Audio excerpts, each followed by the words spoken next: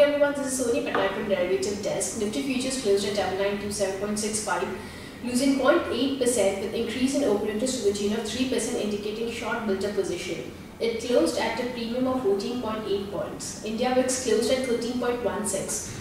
FIs for sellers in index future to the tune of 470 crores, buyers in index option to the tune of 999 crores and buyers in stock future to the tune of 214 crores. They were net buyers in derivative segment to the tune of 782 crores.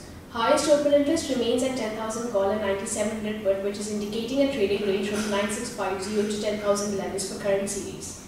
Long built position was seen in Able, Starter, Lexington, McDowell, and short built position was seen in ACC, Cipla, ROC, and RIC Limited. Securities and bank period for today, IB Real Estate and JSW Energy. Thank you.